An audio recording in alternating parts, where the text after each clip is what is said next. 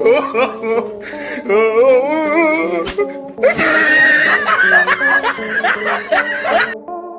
दोस्तों, कहा जाता है कि मुसीबत बिन बुलाए मेहमान की तरह होती है। कब, कहाँ, किसका इससे सामना हो जाए, कुछ कहा नहीं जा सकता। और शायद आपके साथ भी ऐसा कुछ ना कुछ ज़रूर घटा होगा। लेकिन ऐसा नहीं है कि मुसीबतें सिर्फ़ इंसानों के जीवन में ही आती हैं, बल्कि जानवरों को भी हम इंसानों की तरह ही मुसीबतों का सामना करना पड़ता है। लेकिन हम इंसानों की तुलना में जानवर कहीं ना कहीं ज़्यादा अनलक्की है, क्योंकि प्रकृति ने हमें ये शक्ति दी है की हम इंसान अपनी समस्याओं को सुलझा पाने में सक्षम है। साथ ही हम अपनी प्रॉब्लम्स दूसरे के साथ बोल बतलाकर शेयर भी कर सकते हैं। लेकिन जानवर इस मामले में काफ़ी दुर्भाग्यशाली है, क्योंकि किसी भी तरह की मुसीबत में फंस जाने के बाद ना तो वो खुद की मदद कर पाते हैं और ना ही किसी को बोलकर अपनी समस्या के बारे में बता पाते हैं। तो चलिए आपको मिलवाते हैं कुछ ऐसे ही बदनसीब जानवरों से, जिन्हें देखने के बाद आप भी यही बोल पड़ेंगे की भगवान ऐसी सजा किसी को ना दे।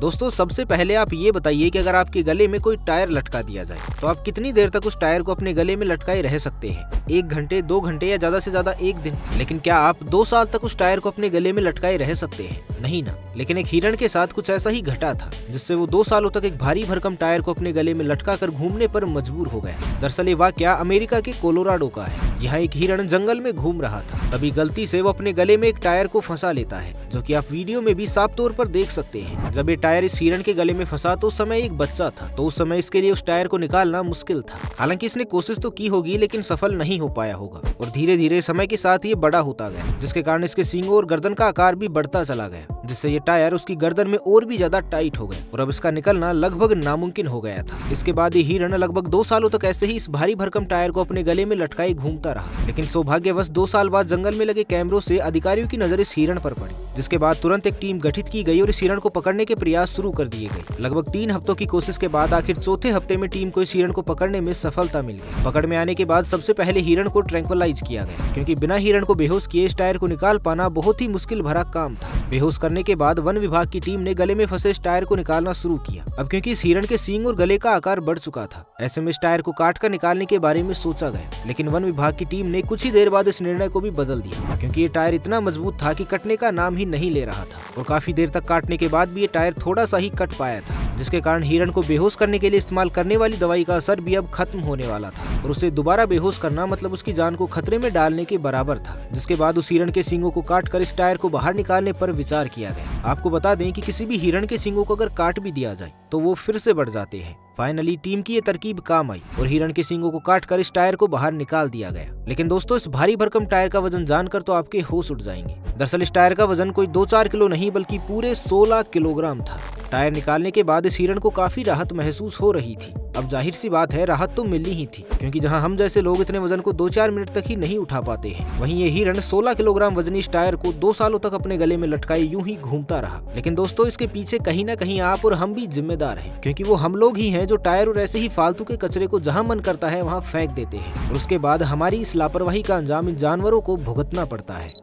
दोस्तों, ये तो कुछ भी नहीं। अब जो किस्सा हम आपको बताने वाले हैं, उसे सुनने के बाद तो आपका खून खोल उठेगा कि आखिर कोई इंसान ऐसा कैसे कर सकता है? दरअसल ये बात है अफ्रीका के जंगलों की। जहाँ एक शिकारी की नज़र जंगल में ही घूम रहे एक हिरण पर पड़ती है। हिरण को देखते ही ये शिकारी उसका शिकार करने के लिए एक तीर चलाता है, लेकिन ये तीर उस हिरण के शरीर पर ना लगकर उसके मुँह को चीरता हुआ निकल जाता है। ये तीर हिरण के मुँह को कुछ इस तरह से छेद कर निकलता है कि उसका मुँह खुल तक भी नहीं पाता है, जो कि आप इन तस्वीरों में भी साफ़ तरीके से देख सकते हैं, और इसी के चलते ये कुछ खा पी भी नहीं सकता था। लेकिन यहाँ एक अच्छी बात ये थी कि ये हिरण अभी तक भी ज़िंदा था। इसके बाद कई दिनों तक ये हिरण मुँह में फंसे इस तीर के साथ यूँ ही जंगल में भटकता रहा, लेकिन इसके घावों और दर्द को देखने और महसूस करने वाला वहाँ कोई नहीं था। कुछ दिनों बाद जंगल के ही पास रहने वाले एक स्थानीय निवासी की नज़र इस हिरण पर पड़ी। दर्द से छटपटाते हुए इस हिरण को देखकर उसने तुरंत ही बिना देर किए एनिमल रेस्क्यू टीम को कॉल कर इस हिरण की स्थिति के बारे में सूचना दी। सूचना पाते ही रेस्क्यू टीम मौके पर पहुँचती है और इस हिरण को पकड़कर सबसे पहले इसे ट्रैंकुलाइज किया गया। ट्रैंकुलाइज करते ही जैसे ही ये हिरण बेहोश हुआ तो तुरंत इसे रेस्क्यू सेंटर ले जाया गया, जहाँ ऑपरेशन करके काफ़ी मशक्कत के बाद इसके मुँह में फंसे इस तीर को बाहर निकाल दिया गया। इसके बाद भी कुछ दिनों तक हिरण को रेस्क्यू सेंटर में ही अंडर ऑब्जर्वेशन रखा गया, जब हिरण की हालात में पूरी तरह से सुधार हो गया तो फिर से इसे जंगल में छोड़ दिया गया। कुछ ऐसी ही घटना इस हाथी के साथ भी घटी थी। ये घटना जून 2016 में जिम्बाब्वे के मानापुल नेशनल पार्क की है। दरअसल हुआ कुछ यूँ था की जब कुछ लोग इस पार्क की सवारी कर रहे थे तो एक हाथी अचानक से ही इनकी गाड़ी के पास आकर खड़ा हो जाता है और अपनी सूंड को हिलाने लगता है। शुरुआत में तो वहाँ घूम रहे लोगों को कुछ समझ ही नहीं आया कि आखिर ये हाथी ऐसा क्यों कर रहा है, लेकिन जब उन लोगों ने उस हाथी को गौर से देखा तो उनके होश उड़ गई दरअसल इस हाथी के सिर से खून बह रहा था और शायद उन लोगों को यही कहना चाहता था। इसलिए तुरंत मेडिकल टीम को सूचना दी गई और हाथी को ट्रैंकुलाइज कर उसका इलाज शुरू किया गया। जब उसका एक्सरे किया गया तो पता चला की गोली लगने से उसके सिर के बोन्स और टिश्यूज के कुछ पार्ट ब्रोक हो गए हैं। लेकिन इस बुलेट को सिर से बाहर निकालना काफ़ी ज़्यादा मुश्किल था, क्योंकि ये सिर के अंदर बुरी तरह से फंस चुकी थी। डॉक्टर्स का कहना था कि अगर इस बुलेट को बाहर निकाला गया तो इन्फेक्शन काफ़ी ज़्यादा बढ़ जाएगा, जिसके चलते इस हाथी की मौत तक भी हो सकती थी। और अभी जिस सिचुएशन में गोली फंसी थी, उससे इस हाथी को कोई ज़्यादा नुकसान नहीं पहुँचने वाला था। इसलिए इस बुलेट को हाथी के सिर के अंदर ही छोड़ने का निर्णय किया गया और ऑपरेशन करके ब्रोक हुए बोन्स और टिश्यूज के टुकड़ों को हटा दिया गया। ऑपरेशन के कुछ दिनों बाद तक इस हाथी को मेडिकल ट्रीटमेंट देकर डॉक्टर्स की निगरानी में रखा गया। और कुछ ही दिनों में प्रिटी बॉय नाम का ये हाथी पूरी तरह से तंदुरुस्त हो गया। दोस्तों, अब इस वीडियो को देखिए, जिसमें ये जहरीला सांप इंसानों की बस्ती में घूमता हुआ दिखाई दे रहा है। इसे देखकर आप भी यही सोच रहे होंगे कि शायद ये यहाँ रहने वाले लोगों को नुकसान पहुँचाने आया होगा। लेकिन ऐसा नहीं है। दरअसल ये वीडियो भारत के ही एक गाँव का है, जहाँ सूखा पड़ जाने के कारण अचानक ही पानी की समस्या खड़ी हो गई थी। नदी और तालाबों में पानी न होने के कारण जंगली जानवर भी गाँव का रुख करने लगे थे। और कुछ इसी तरह से कोबरा भी जंगल से निकलकर इंसानी बस्ती में आ गया था। लेकिन जब गाँव वालों ने इतने बड़े सांप को देखा तो वो डर गए और तुरंत ही एनिमल रेस्क्यू टीम को फ़ोन कर दिया। कुछ देर में रेस्क्यू टीम वहाँ पर पहुँच गई, लेकिन जब रेस्क्यू टीम ने सांप को पकड़ने की कोशिश की तो एक बहुत ही गजब की बात देखने को मिली। दरअसल जब रेस्क्यू टीम का एक शख्स सांप को पकड़ने की कोशिश कर रहा था तो उस पर हमला करने की बजाय एक पानी के डिब्बे की तरफ़ भाग रहा था। ये देखते ही रेस्क्यू टीम के लोग समझ गए कि सांप प्यासा है। फिर उसके बाद रेस्क्यू टीम के एक मेंबर ने सांप को पानी पिलाया और ये सांप भी बड़े ही इतमान के साथ पानी को पी रहा था। आप खुद ही देखिए कि कैसे बिना किसी प्रकार का हमला करे, ये कैसे बोतल से पानी पी रहा है।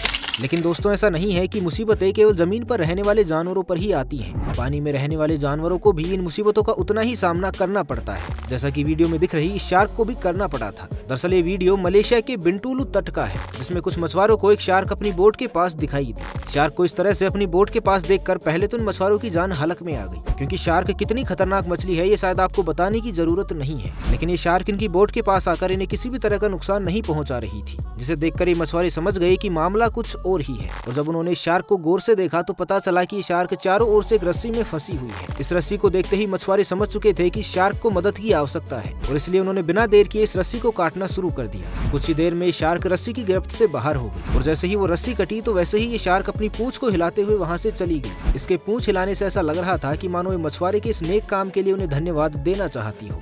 बाकी दोस्तों, आपको क्या लगता है? क्या वाकई में मछुआरों का धन्यवाद देना चाह रही थी? हमें कमेंट करके ज़रूर बताइएगा। बाकी आज के लिए बस इतना ही। मिलते हैं एक नई वीडियो में। तब तक के लिए खुश रहें, मस्त रहे, हँसते रहे। भगवान करे आप सभी का दिन शुभ हो।